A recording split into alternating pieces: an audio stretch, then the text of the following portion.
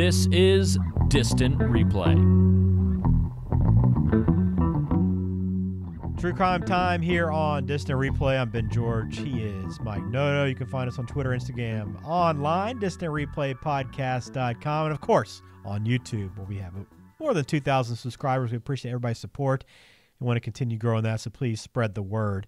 Today's episode is going to be a little bit of change of pace. We always tell you a story of, of a former athlete or somebody involved in sports that got involved in crime. This one's going to touch on a story we've already kind of told you Today, we want to provide an update, right, Mike? Yeah, this is the first one that uh, case that I know of that we've covered where there's like updates in real time as far as what's going on with the person that we discuss. So I wanted to go through it a little bit today.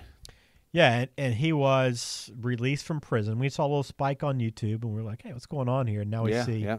what happened. So before we get into like what's happening right now in 2021, let's quickly remind everybody kind of how we got to this point. Yeah, so who we're going to talk about today is Art Schlichter. Okay. Uh, he's now 61 years old. And like as Ben said, he's just got out on parole um, from being in prison. Now, Ben, do you remember what his crimes involved or no? Uh, I do, but let's remind all the listeners, Mike. Okay, yeah. So they were gambling. Basically, his crimes all revolve pretty much around gambling. Yeah. And he's had a very serious gambling problem since like his teenage years since his years at Ohio State and early on with the Indianapolis Colts when he was in the NFL. He was in jail on federal fraud charges. He was we hear we've heard about this a lot since like the advent of online tickets, but he was basically involved in a thing where he was selling tickets that he didn't he was selling tickets to events that he didn't have tickets for. Yeah. And was using it as a way to like fraud investors, okay? So he's in jail for that crime. He became eligible for parole on June 13th and he was released the next day from a prison in Ohio. Okay, as a part of as a part of his release, he has to, you know, he's on he's on probation for the next under direct supervision, pretty much for the next five years. Mm-hmm. Okay, um, it's basically a program that is supposed to help him reacclimate to the community.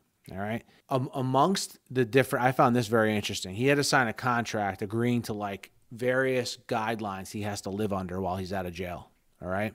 Yeah. He can't own guns. He can't use drugs. He can't leave the state without notifying his parole officer.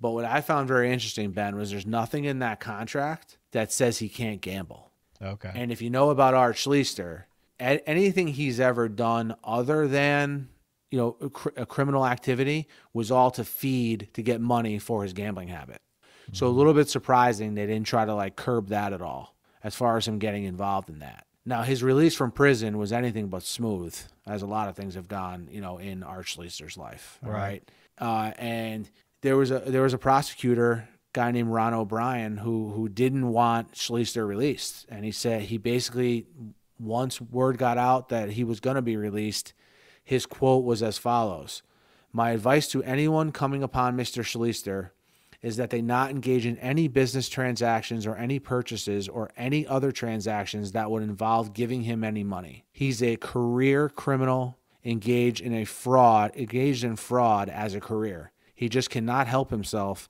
He will do this the rest of his life. Mm. So pretty strong words. Yeah, you know, a guy who's, you know, I think a guy who's been around the block and basically is trying to warn people like, "Hey, look, I've seen guys like this. Like he's not going to stop doing what he does." And what was interesting, Ben, is that even while he was in jail, okay, there was reports he was supposed to be released on August 18th of 2020. So, you know, last year. Yeah. But there was reports that he was violating prison rules and having just months before he was about to be released last year, he was having women outside the prison place bets for him. Man. Okay, he was betting other in, he was betting with other inmates, and I guess prison officials kind of pieced together from you know they monitor everything these prisoners do. You know, yeah, that he was through emails and phone calls. He was he was actually gambling from inside prison. Jeez. So um, he was like, you know, they took away his privileges to use email for a period of time while he was in prison. I mean, he he was about again, he was about to stop. You know, he's about to his 11 year sentence was about to end. He got involved in all this stuff, and his and his sentence actually got extended. One thing I was not aware of, and is probably something that's happened since he's been in jail, but his lawyer said that he is suffering from diabetes, dementia, and Parkinson's disease. Oh man, Obviously, not to the point though where he can't be with it enough. You know, if the gambling stories are true, Right. he's still with it enough to gamble, I guess. Or So there's that- people that'll still take his money regardless. Yeah, yeah, exactly. Yeah, who knows? Who knows the true story? I would assume someone will interview him. I saw Rex Chapman on Twitter today. Yeah. I guess he has a podcast. Is that correct? I don't know. Maybe. Yeah, but he has a podcast and he says he wants to interview Art Schlichter. So we'll see if he gets an interview with him, you know? Yeah. You know, there I mean there's there like again, there's this there's there's even a judge, okay, that who denied him to be released from jail last year in August. This judge plainly says that Schlichter is past the point of rehabilitation mm-hmm. and that if if he did get released, it would subject people like in his wake to more criminal criminal conduct Yeah. Yeah. Sounds and like, like like just basically prison not doing what it was supposed to do for Art Schlichter. Like he still has seems like a lot of people think he still has the same issues that he had when he entered. yeah, it sounds like it. I mean, like the guy needs action. No matter what, he's going to find a way to get it. Yeah, right. I mean, it's it's it's you hate to boil it down to that, and he's gonna. I think the biggest thing has been is it sounds like he's the kind of guy, and by his actions, he's gonna do whatever he needs to do to get money to get that action. Right. So Man, that's rough. That's crazy, man. Like his whole story is pretty wild. First one we've got an update on, which is great. Yeah, and if you guys know, so this one again, like Ben said, this one came on our radar because you know we can track what videos people are watching and which ones that are not on YouTube. So when a one like this gets a big blip, it's like, oh, well, I wonder what happened. So you Google and see, oh, Art Schlichter, blah blah blah blah blah. Yeah. So this one came on our radar that way. If you guys know of any cases that we've covered where there's been things, significant things that have happened since, definitely hit us up with that as well. Yeah, no question. We will uh, we'll do our best to update any any kind of any kind of parole, anything like that, um, or maybe a cold case as it happens. Um, we'll see. But there's plenty to talk about and plenty to discuss, and I'm looking forward to it. The tri- true crimes are always very interesting and stories that I usually have never heard and not familiar with. So I always learn something new, and I know that uh, our listeners have as well. We've got a lot of good feedback on the true crime stuff.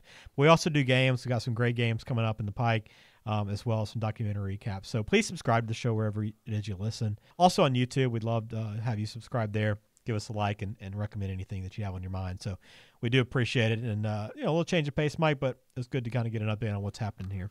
Yeah, and if you're looking for a little bit more of an overview on not only what Schlichter was in jail for, but kind of what he was involved in beforehand, again, we did a full episode um, on his life of crime. I'll link it after the video here on the end screen for you guys. But definitely look into that. And like Ben said, keep those suggestions coming. We'll be at you with a new episode next week. Several new episodes here. We already we just to give you guys an idea, we just recorded like three episodes. So we got stuff in the pipeline ready for you. Uh, thanks as always. Subscribe, like, do everything. Ben says, like I always say. and until next time.